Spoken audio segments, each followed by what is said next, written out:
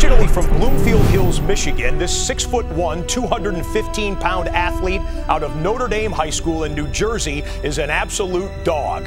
Fitting perfectly into the Rutgers culture, fans should be excited to see what Gabe can do on the field.